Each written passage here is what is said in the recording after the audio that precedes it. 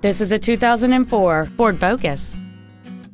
It features a 2.0-liter four-cylinder engine and an automatic transmission. All of the following features are included.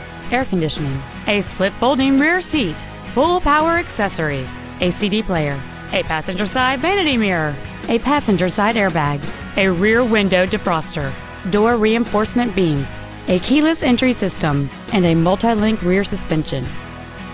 This vehicle won't last long at this price. Call and arrange a test drive now.